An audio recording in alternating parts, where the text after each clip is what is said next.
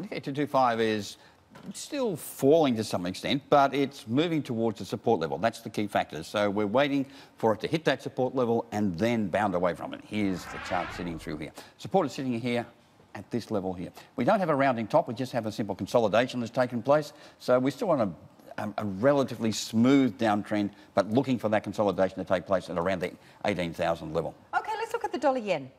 Dollar yen is we're seeing a similar sort of pattern. Dollar yen, we've got support sitting here at 103, which is back through at this point. So we're on a fairly well-defined, that's a bad line there, a downward sloping trading channel. No indication that that's going to pause until it gets to around the 103 support. So we're trading rally retreat within that channel. Okay, so we may well have some dollar strength coming, uh, some yen strength rather coming through there. Um, Toshiba, we just talked about Toshiba. Obviously, this company has been in a world of hurt. I mean, is there really any point even charting this kind of stock? Oh yes, there's certainly a point in charting this sort of stuff. And we had a shorter term chart up before. Okay, this is giving you about 20% returns for the courageous type of trader.